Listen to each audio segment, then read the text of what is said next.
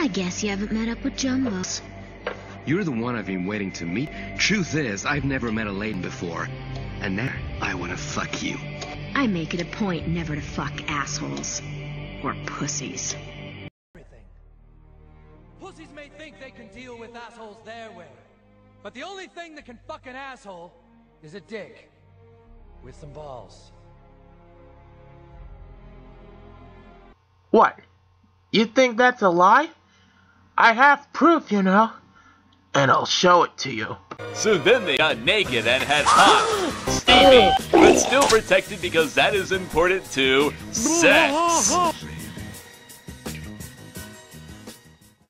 My god.